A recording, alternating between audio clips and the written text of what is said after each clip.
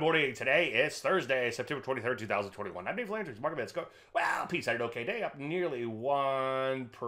Better than the poke in the eye. As you can see, still below the 50 simple moving average and the 30 EMA. Nothing magical about these moving averages, but as you can see, we haven't had Landry light, meaning the highs less than moving averages, in a long, long time. In fact, you can go all the way back to last fall, so roughly one year. Take a look at the NASDAQ. Decent day there, back above the 50. Yay! Nothing magical about that, but certainly good to see. Still has a little ways to go to get above the bow tie moving averages. Russ had a decent day, actually back above its moving averages, so that's a good thing. But you can see wide and listen sideways as of late. Some areas hanging in there, looking pretty good longer term, such as health services, retail doing okay longer term. Some areas, though, like manufacturing, getting look quite dubious in here, forming a bow tie sell signal to the downside. Transports also remain in a downtrend. Some areas, though, back to the upside. Software doing okay in here. Hardware, I'm sorry, semiconductors also doing okay in here too. So still mixed, but obviously a bit of a shot across the bow. So let's just pay attention, see what happens, wait for entries, honor your stops, and be selective. The things that we